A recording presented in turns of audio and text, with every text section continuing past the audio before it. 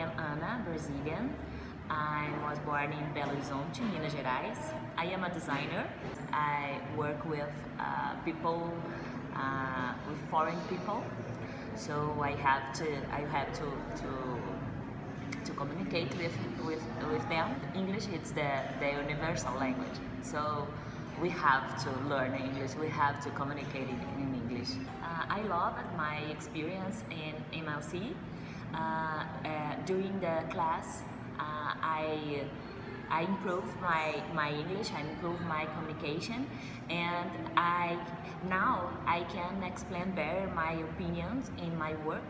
I strongly recommend uh, to you to study in MLC because it's a very good school, and there are the the, the community, the MLC MLC community, and this community help you to understand better about the the American life, the English life, and the worldwide culture, and you can, uh, the, the community can help you to feel better with your English, and, uh, and it, it's possible to know uh, another people and know ab about another countries and cultures and it's so good for me and I think it will be so good for you too.